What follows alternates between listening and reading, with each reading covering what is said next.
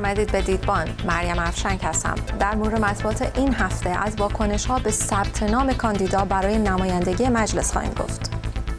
و همینطور سالگرد کمرمق 16 آذر. سلام آقای بهنود. بحث انتخابات کم کم انگار داره پررنگ میشه ولی از طرفی هنوز بحث کشته شدگان حوادث آبان ماه و اینکه چقدر کشته شدن بحث داغی هست. از طرفی دبیر شورای عالی امنیت ملی آقای شمخانی به دیدار تعدادی از کشته شدگان در شهرستان های تهران و تهران رفتن و گفتن که در این در واقع در شهرستان های تهران 85 درصد کسانی که کشته شدن اصلا معترض نبودن حتی. بله. تو روزنامه ها تقریبا میشه گفتش که به این حوادث اشاره مستقیمی ندارم ولی زیر پوستشون پیداست در داخل گزارش ها خواهیم دید در مرور روزنامه ها اگه موافقید؟ با همشهری شروع کنیم. بریم همشهری رو ببینیم. همشهری همین ماجرای 16 آذر روز دانشجو رو دیده و نوشته که صدای دانشجو رو بشنوین. مطلب خیلی مفصلی هم بود. بله و گزارش است دیگه. گزارش است که رفته همزمان باش با یه دست فعالان تشکل دانشجو نه الزاما همین الان. مال قبلی ها کسایی که در دورهای مختلف دانشجو بودند و شناخته شده هستن با اونا صحبت کرد به مشکلات در واقع دانشجو و اینکه این پولی شدن تحصیلات عالی چقدر نخبه گرایی رو و نبود عدالت آموزشی رو چقدر می‌تونه در واقع پررنگ کنه زیر سوال ببره اشاره می‌کنه میگه که از طرف حسام امین محلاتی سخنگوی تشکل‌های اتحادیه دانشجویان میگه که عدم اعتماد به نفس مدیران دانشگاهی باعث شده که در مسئله تثبیت جایگاه قدرتمندان و اقتدارگرایان در, در مواجهه با مسئله دانشجویان ستاره دار سهمیه های رو به رشد و قارچگونه هیچ اقدام مؤثر عکس عمل کارایی از آنان مشاهده نشود. بعد به همین بحث دانشجویان ستاره دار در که اینا همچنان یک کلمه دانشجو هستن که از تحصیل باز موندن به اتهامات مبهمی که باهاش مواجهن تشویش تبانی اجتماع با احکام یک دو پنج ده ساله به زندان و شلاق و اینا. و در واقع مشکلاتی که های دانشجویی یا خود دانشجویان باش مواجه هستند رو کامل و به طور مفصل بررسی کرده. و بیشترشون راجع به همین حوادث اخیر هم حرف زدن. بله. خب بریم روزنامه صبح نو رو هم ببینیم. ببینید حالا وارد هیته روزنامه هایی میشیم که خودشون رو برای یک انتخابات داغ دارن آماده می‌کنن که طبیعتا اصرا طلب نیستن. صبح نو شماره قبل از این روز یعنی شماره یک شنبه خودش رو تمام قد اختصاص داده بود با غالیباف روز دوشنبه عکس آقای انصاری آقای عارف آقای کواکبیان گذاشته به عنوان مثلا نماینده های اصلاح طلبی. که آقای عارف تیتر در انتظار شکست. آره میگه منتظر شکست باشین. حالا توجه نداره به این کسان آقای عارف که نیستش توی صحنه آقای انصاری هستن. می‌خوان یه اشاره هم بکنیم که توی این مقاله که نوشته فضا برای خدمت مهیاس میگه مجلس آینده باید مجلس امید باشه نه امید به مذاکره و معامله که امید به آینده ای که ایرانی احساس مطلوبی از زندگی و معیشت خود داشته باشه. بنابراین شعار اصلی اصولگراها پیدا شد و اون این استش که ما برخلاف دولت آقای روحانی مذاکره نمی‌خوایم بکنیم. بله. خب بریم روزنامه جمهوری اسلامی رو ببینیم که یه جوری انگار جواب بله اینه این روزنامه بوده. روزنامه جمهوری اسلامی خیلی مقاله نسبتا تندی نوشته. در جایی از این مقاله اشاره کرده بدون اینکه اسم ببره به کاندیدای اشاره کرده که کلی پرونده فساد و اینا محکومه. هرچند که تا حالا پاش به دادگاه هم نرفته و محاکمه ای نشده. میگه که درسته که مجلس شورای اسلامی همکنون فشله ولی با ورود این قبیل افراد که از غذا بسیار فریبکار هم هستند به طور کامل از خاصیت خواهد افتاد.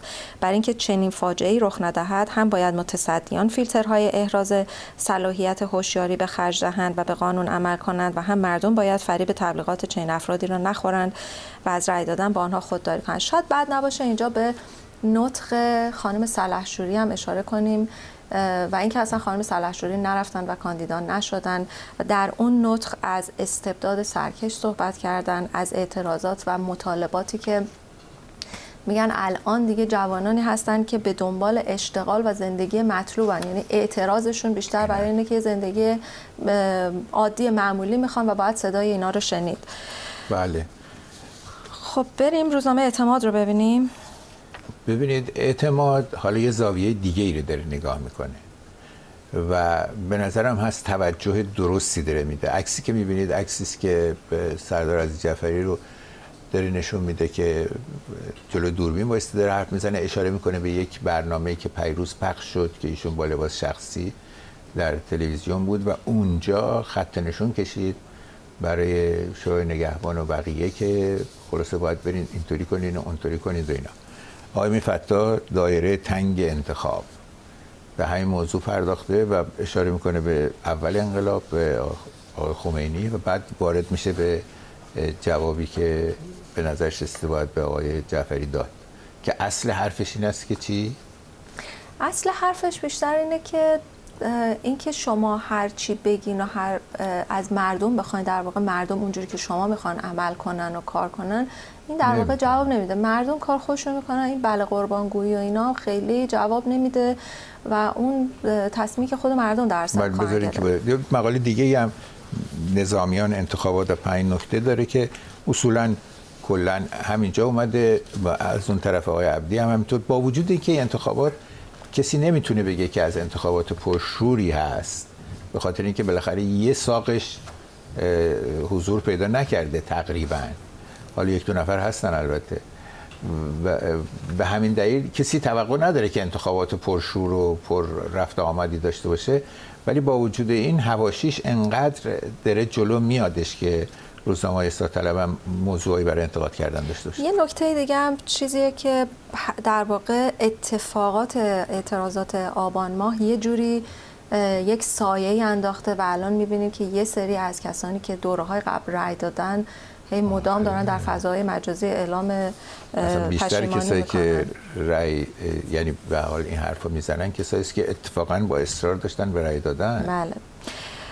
خب بریم روزنامه سازندگی با عکسی از آقای هاشمی رفسنجانی. این عکس قدیمی رو گذاشته و بعد هم صحبت کرده از یک مستندی. شورش علیه سازندگی. راستش یه ذره من تعجب کردم. الان یهو چی شد؟ داستان آقای هاشمی رفسنجانی و این بله. داستان. ولی گویا یک مستندی ساخته شده شورش علیه سازندگی مستندی که درباره تجربه تعدیل اقتصادی در دولت آقای هاشمی اشاره می‌کنه. و در این مستند مصطفی شوقی کارگردانشه میگه که زمانی که قبلا یه دونه هویدا و یه دونه علم ساخت. بله. میگه که زمانی که ده سال داشتم پدرم مسئول بایگانی اداره آموزش پرورش بود که در میان پرونده موجود در دفتر رو به اسنادی با مهر محرمانه درباره مشهد برخورد کردم و برای اولین بار با یک شورش در مشهد مواجه شدم. به های اسلام شهر رو اینا داره اشاره می‌کنه. بله یه لحظه ببخشید یه لحظه حرف شما رو قطع کنم یه چیزی بگم. این مصاحبه با خبرگزاری مر از اول تا آخرش که می‌خونین پیداست که ایشون داره یه چیزهایی رو به وضوح تکسیب می‌کنه که اتفاقا به این مستند به صلاح چسبیده میشه. اصرارش به اینکه من بیطرف هستم من اصلا اینطوری بودم و اینا یه ذره زیادی به نظر می‌رسه. به خصوص که تو خبرگزاری مهرم نشسته داره بالاخره رونمایی می‌کنه این کارو. از جمله همین قصه که شما میگین. یه ذره به این ماجرا فکر کنیم. بچه ده ساله یعنی کلاس چهارم دبستانه. پدرش که یک توی بایگانیه. بعد یه پرونده محرمانه اون تو هست واز کرد برای بچه ده ساله که پرونده ده محرمانه بخونه. این بالاخره ایشون با جز نوابقه قطعا جز نوابقه چون من یادم نمیادش که ده سالگی ما محرمانه و اینا اصلا سرمون می‌شد. و از اون زمان این سوال براشون بوده که در فاصله 13 14 سال پس از انقلاب چنین شورش و اعتراضی در کشور در واقع چطوری رخ داده؟ خیلی واقعا. بریم سراغ برگزیده آقای بهنود. اتفاقا برگزیده به یه نوعی ادامه همین داستانه. یه کسانی معتقدن که یکی از سوژه هایی که گروه مقابل پیدا کرده داره می‌زنه اینه که به طور محسوس داره دوران آقای هاشمی رو می‌زنه به عنوان پشتوانه همین دولت. یعنی همین دولت بوده است. صوت 64 اشاره است به اون پروازی که اینطوری ثبت شد. حتی تو کتاب های درسی هم اومده. ثبتش اینجوریه که یه پرواز تو محیط نظامی داشت می‌کرد که نماینده امام در سپاه هم رفته بود به رسیدگی به جبه ها. چند تا نماینده مجلس روزنامه‌نویس و اینو اون. و اونجا جت های عراق میان تعقیبش می‌کنن و بهش میگن بشین. یعنی بشین و اسیر ما شو. و اونها دست جمعی میگن که نه ما شهید میشیم و اسیر نمیشیم. حالا این موضوع رو به بحث گذاشته شده. کاری که کرده سازندگی اینه که اصل مصاحبه ای رو که همین فیلم توش شده است با آقای هاشمی اونو پیدا کرده که آقای هاشمی بگید چی میگه؟ اونم مصاحبه خیلی مفصلیه. آقای هاشمی در واقع سوال اینه که خب چطوری چهل و چهار نفر بودن؟ حتی چهل و چهار نفرم رد می‌کنه. چون میگه این فرنچی بود. فرنچی واسه اینقدر جا نداره. آره بعد از اینجا شروع می‌کنه این قصه رو تصحیح کردن. در حقیقت اگه بخوایم خلاصش بکنیم.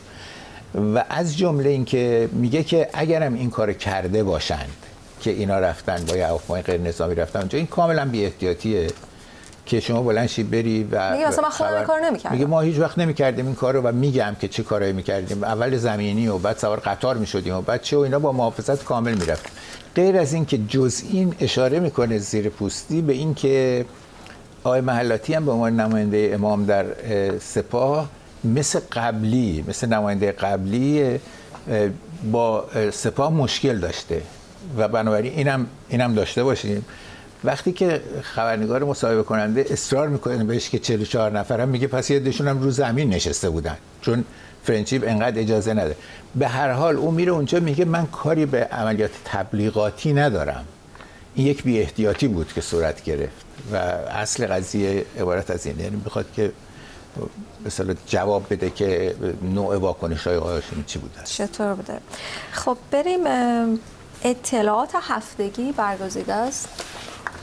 سال شماره اطلاعات هفتگی اگه برگزیده آره منم همین گول زد. در داخل بسته مجله های من که اومد من چشم خورد به یه اطلاعات هفتگی که فرستاده شده. تاریخش هم 21 آذره. پس بنابراین درست هم هستی که مجلات همین هفته هم هستش. یعنی از روی کیوسک خریدن؟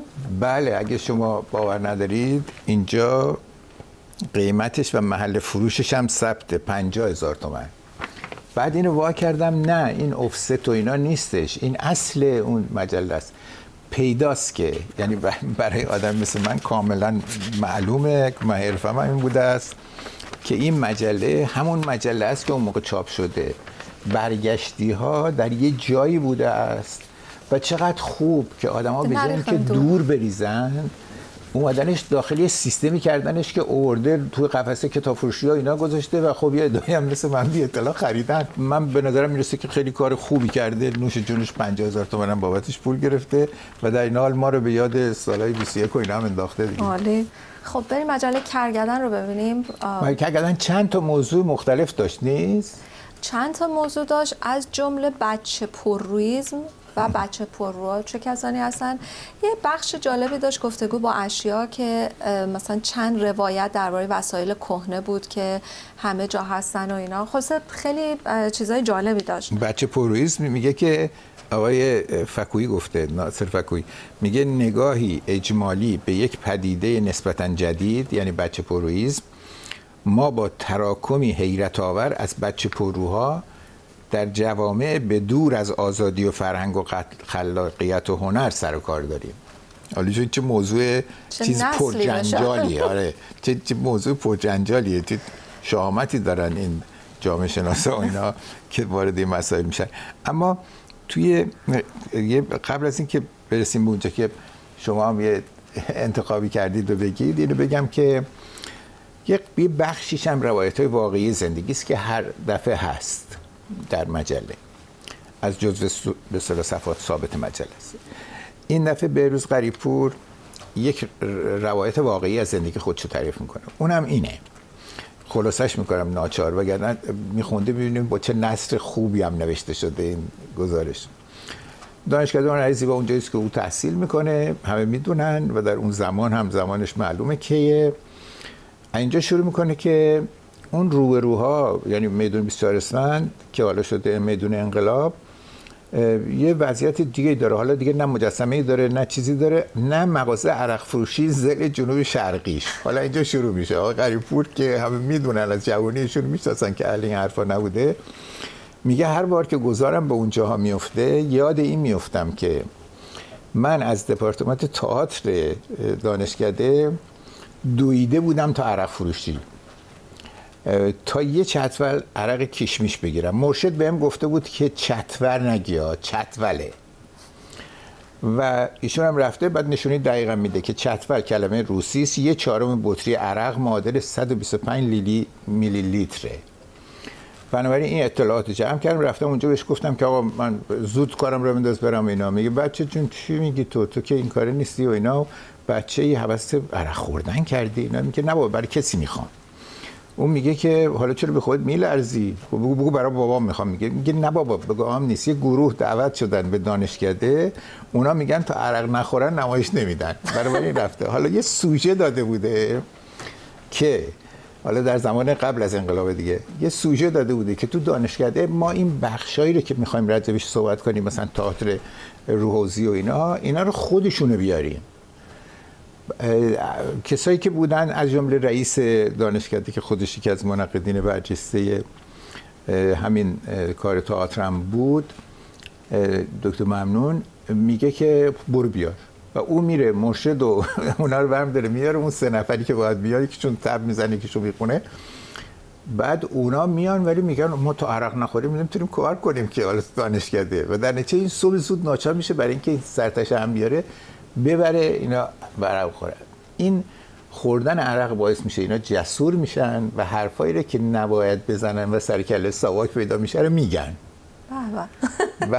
و در نتیجه اینا خیلی در نتیجه مرشد و ساواک و نجسی و اون روز عجیب.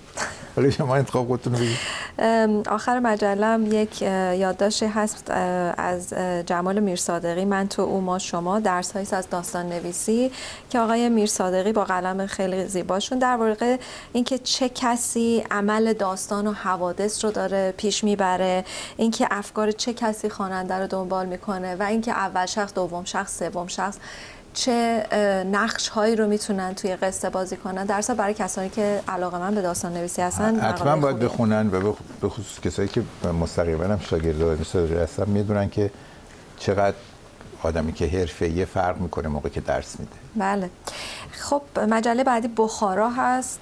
این دفعه فکر کنم حتی دو برابر هر آره، دفعه یعنی 600 خورده ای صفحه است آقای دواشی فکر کرده که ما مثلا می‌تونیم یا وقت داریم اینا نمی‌دونم. خب همتش بیشتر از فرصت ماست دارن شروع می‌کنه با دو تا شعر جدیدی از آیب تاج در آن زمان که زندگی نشانی درخت داشت زبان شعر چه ساده بود.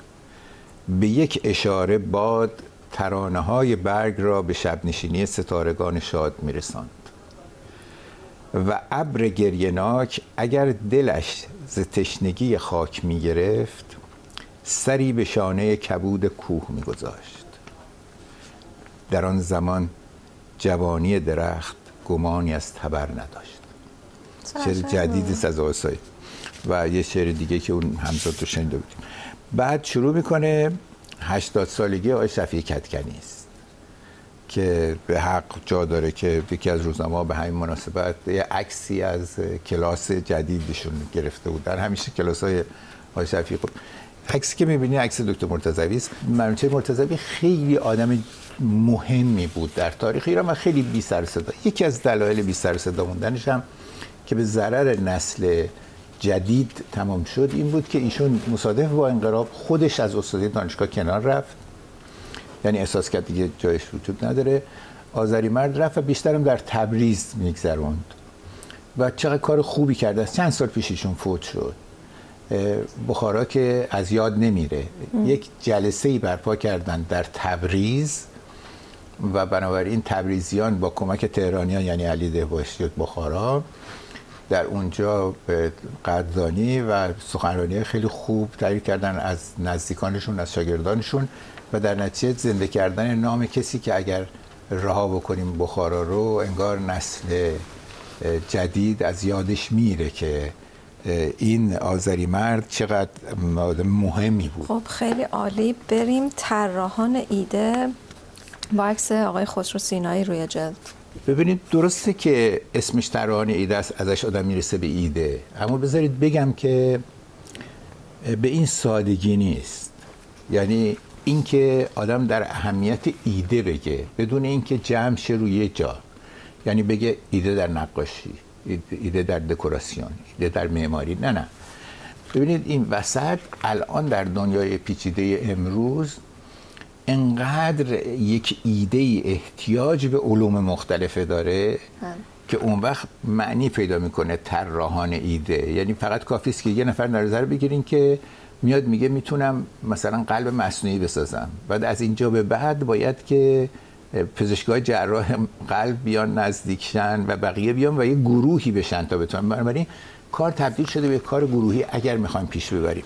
در مقدمه اینجا نوشته است سردبیر که خودم رو به تنبلی می‌زنم آرام چشمم رو میبندم تا شاید خواب بیاد به عقب برمیگردم فکرم رو نقاشی می‌کنم نزدیک صبح اتاقم رو به دل بخواه اندازه می‌کنم. سقف رو کمی کج می‌کنم دیوار رو می‌برم بالا کوه میارم پایین و شروع می‌کنه در ذهن ساختن یه ایده ای رو.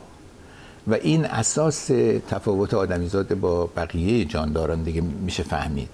همه ما طراحان ایده ایم اگر و بنابراین اینجا خیلی مسئله مهمی در همین شروع بیان می‌کنه و اون اینکه جمعیت جوانه بالاتری میزان تحصیل کرده کشور الانه هیچ وقت اینقدر نبوده.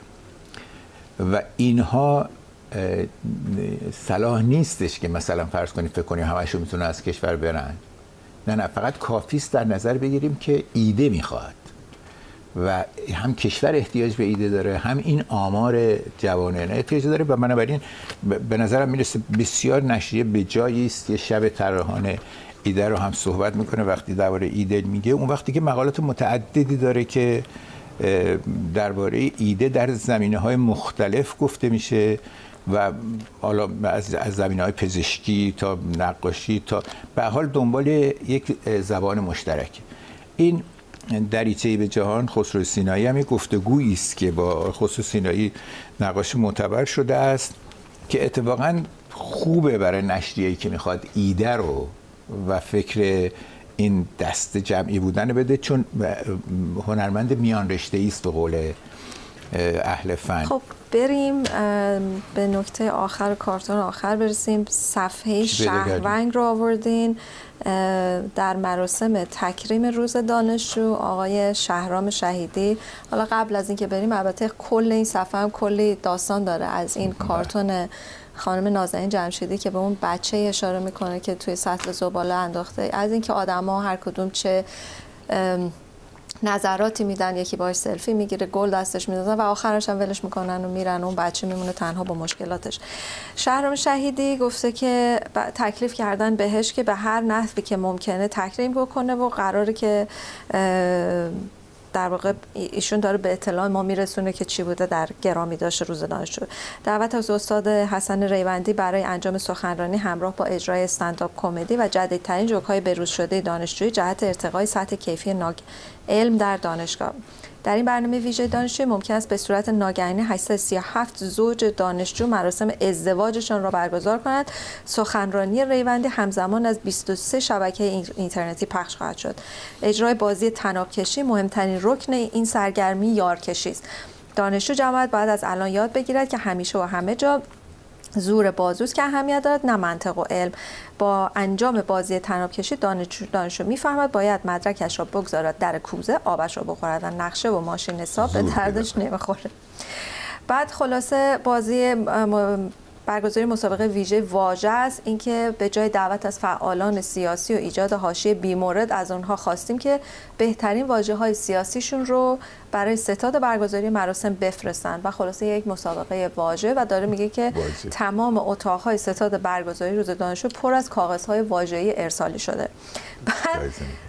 مراسم برگزاری مراسم فرهنگی سیاسی اتل متل توتوله این مراسم قرار بود در بامداد روز دانشجو برگزار شه که به منظور جلوگیری از بروز برخی مسائل بخش اولیه این شعر فولکلور از آن حذف شد و اجرای آن به بعد از ظهر موکول شد.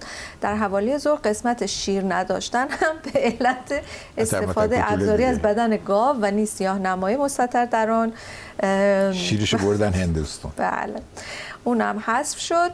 و خلاصه آخرش هم می‌رسه به کنسرت موسیقی انگشتی که با توجه به مشکل ساز بودن نمایش برگزار کنندگان نخستین موسیقی دستساز و انگشتی کشور میگه که دعوت کردن که البته سود زدن هم با اینکه نه دستی است و نه انگشتی ممنوعیت نداره. از دانشان پسر بخواهید با صدای ملو و پایین ترانه گل پامچال را بخوانند و نوازندگان با دست زدن آن هم به صورت دو انگشتی خوانندگان رو یاری دقیقا داری میگه که چرا بیرمق بود امسال. بله. خب کارتون هم ببینیم. کارتون هست از احسان گنجی که داره اشاره می‌کنه به همین داستان محل برگزاری تجمعات اعتراضی که هر موقع اتفاق میفته یه سری معتقدن که باید یک محل های برای. اعتراض بله. تعیین بشه. احسان گنجی در واقع اون محل برگزاری تجمعات رو مثل زندان دیده. احتمالا روش نشده مثل زندان اوین. مردم هم کسانی هستن که برای آزادی برای نون گرسنگی حقوق برابر رفتن تجمع کردن و ظاهرا مردم واقعا عادی هستن. وصله دارن و اصله هم ندارن. بله. ممنون آقای بهنود و همینطور ممنون از شما. مرسی که با ما بودید. همینجا به همراه آقای بهنود با شما خدافزی می‌کنم. تا هفته آینده شب روزتون خوش.